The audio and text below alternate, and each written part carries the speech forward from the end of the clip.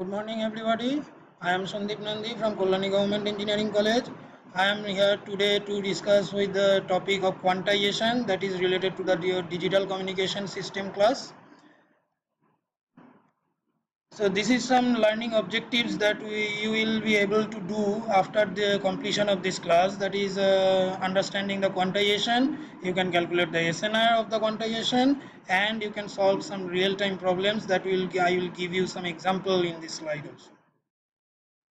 So first of all before starting we will discuss what is actually the quantization. This is the process of converting from a discrete time signal, signal to a discrete time continuous signal to a discrete time discrete signal actually. So basically from the quantum mechanics side the quantization is to design some energy levels or discretize some energy levels where the electrons will reside and the electrons will not reside beyond that type of energy levels. So that that much concept has been uh, carried forward to this digital communication for this quantization. That is uh, all the samples has been quantized to a particular discrete levels. And each discrete levels will be renamed with some uh, digitized code. And that digitized code will actually be transmitted. That is actually a conversion of discrete time digital signal. Actually the quantization is a middle process of the entire system that is called pulse code modulation and this pulse code modulation that is PCM is a process of generating digital signal from an analog signal.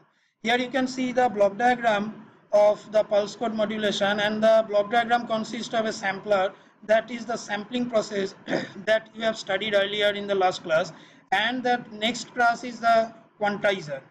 Next block is the quantizer that we will study today. That quantizer after the quantizer segment there is a block that is encoder. This encoder block actually does the things that each quantization level will be assigned a particular code and that code will generate the PCM signal actually. The PCM in that sense sometimes can be interchangeably uh, termed as analog to digital converter also. Here is some figure that we will do in the quantization process or entire PCM process. That is this is uh, the uh, the dotted line. You can see that is the analog signal actually. We will want to digitize it. First we take the samples. These are the pulse train and the pulse train uh, defines the samples of the signals. Samples are taken at equal intervals at the uh, Nyquist rate and that samples each samples have then been quantized to a discrete level. And each level you can see in the left hand side is uh, assigned a particular code. Here is a 3 bit code that is 111 110 etc and each code will generate some pulses, digital pulses that will generate the digital signal. So quantization has mainly two different processes. We will discuss in this uh, class only the uniform quantization, the basic idea of the uniform quantization. Here you will see in the figure the analog signal is sampled. These dots, these squares, uh, small blue squares requires the samples, represent samples, each samples and these lines represents that the entire length of the signal entire peak to peak length of the signal has been divided into several voltage levels and these levels are actually the quantized levels quantization levels now whenever a sample falls within a particular level that uh, sample will be assigned to a particular quantization state that is particularly assigned for that level only. so you will see different uh, samples are there in the different quantization level and different quantization level will generate different quantization state. So or uh, before going to this quantization, we will define or we will actually divide entire peak-to-peak -peak value or peak-to-peak -peak length of the signal into L number of levels, capital L number of levels. Here a more clear figure is there. This is the analog signal the dots represent the samples and each level uh, horizontal line represents the voltage levels that we have defined you will see in the left hand side the entire peak to peak value that is from, from 3.5 volt to minus 2.5 volt, uh, 5 volt has been divided into 8 levels designed as, defined as 0 1 2 3 4 5 6 7 etc and these levels contains equal interval of uh, operation. That is each level has equal voltage interval. Minus 2.5 to minus 2 minus 2 to minus 1.5 to minus 0.5 to plus 0.5 etc and each voltage level has a midway horizontal line that defines the quantization state for that level. Now just uh, consider the case for the samples whose voltage is 3.6 nearly 3.6 volt and you see that 3.6 volt is very close to the 3.5 volt and, this sample is fall into the level 7 so this sample is actually quantized in the 3.5 level. So the quantized level sample value will now be designated as 3.5 and the code number will be 7 and the PCM sequence will be designed as 111 for the equivalent of the 7, binary equivalent for the 7. Similarly, for uh, take another example that is the sample the, that is minus 0.7 volt minus 0.7 volt is closely related to minus 0.5 volt and that minus 0.5 volt is within the level 3 so it will be this sample is assigned to the quantization state that is a minus 0.5 volt. And you see that in the below the figure the quantization sample value is now assigned as minus 0.5 volt where the actual value is minus 0.7 volt. And uh, the uh, code number for this sample is 3 and the equivalent binary digital code is 011 that is generated after the encoder. So this is the process we actually do the quantization that is the quantization is does. So for the uniform quantization there are different steps. First for the quantization we require to define the entire peak-to-peak -peak value into small intervals. Each interval should have a quantized region, quantized state, we should assign that quantized state and number it accordingly in sequential order.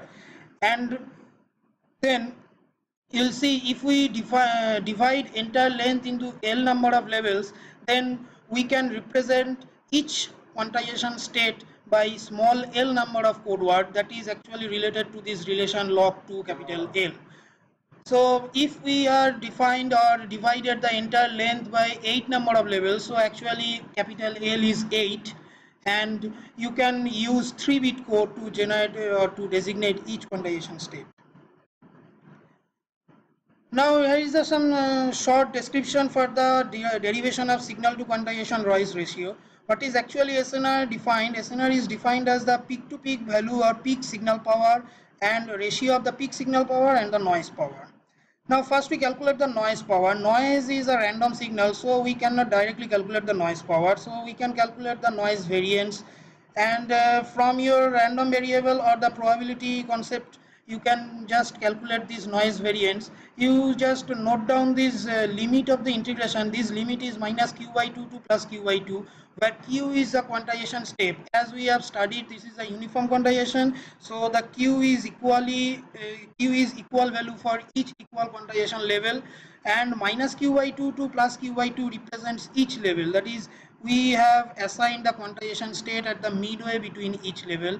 The quantization state start from minus qy2 and end at plus qy2 so if each each sample any sample is uh, fall within this range minus qy2 to plus qy2 we will define that sample we will designate that sample or we will assign that sample in that particular quantization state that is midway between that level minus qy2 to plus q by 2 so we can calculate this uh, variance and the ultimate result is here that is q square by 12 so you can see that noise power is actually dependent on the quantization step size this q so if we reduce this step size, we can uh, reduce the noise power and if we increase this step size, you can increase the noise powers. It is actually evident that if we increase the step size, that means we are allowing much more range for the sample values to be assigned to a quantized state. So there is an increase in error in that case. So this is the noise power and the signal power is calculated directly from our formula that is Vp square by 1. If we use uh, assume that we have used a 10 ohm resistance and then uh, it will be calculated as L square Q square by 4 where Vp square is L square Q square. L is the number of levels we have divided the entire length and Q is the step size. So the SNR is calculated likewise using that formula that is directly related to 3L square and that you will see that directly the SNR is related to the number of levels. So as we increase the number of levels we can increase the SNR also. Here is a SNR design designated in dB scale also. If we represent L, replace L by 2 to the power n because L should be in the power of 2 to define each quantization state at a binary code. So it will be defined as 6n where n is the number of bit we require. Here is a suitable example. You can see that a 3 kilohertz signal is sampled at a rate of 33 and one third percent higher than the Nyquist rate and the maximum error that is the quantization error we can accept that is 0.5 percent of the peak to peak value. So find out the quantization level and the number of level and the code length. So Nyquist rate is in actually for the 3 kilohertz signal Nyquist rate is 6 kilohertz but our sampling rate is higher than the Nyquist rate 33 and 1.13 percent. So the sampling rate will be calculated as 8 kilohertz now since this quantization steps is q and the maximum quantization error we can allow is q by 2 that is q by 2 is equal to 0.5 m by 100 that is 0.5 percent of the peak to peak signal and from this value we can calculate l that is equal to 200 now the code length will be nearly that number of bits that will be close to the 200 and we can calculate that if we choose n is equal to 8 then we find l is equal to 2 to the power 8 that is 256 that is nearer to 200 so we choose 8 number of codes or 8 number of bits to represent each quantization level. There are some sources of noise also in the quantized signals. The one noise is the quantization noise that is we have uh, we have discussed that is if we increase the quantization level or quantization state then noise will also increase. If we reduce the quantization step, noise will also decrease. That is the truncation or rounding error that we will call it actually because the sample value is close to the quantization state will have the lower rounding error and the sample value is more than the uh, far to the quantization state will have the larger rounding error. Also there is a saturation uh, noise is uh, results. This results due to the high amplitude signals. So when these high amplitude signals peak to peak range will uh, cover up or uh, ex exceed the quantization number of levels. Whenever this peak range exceed the number of levels, then this signal will be clipped. That is, all the signals, all the samples above the quantization level will be above the highest quantization level will be rounded off to the nearest quantization level at the highest order. So it will be clipped down. So this is actually what we will want to do or what we want to study in this class. Thank you.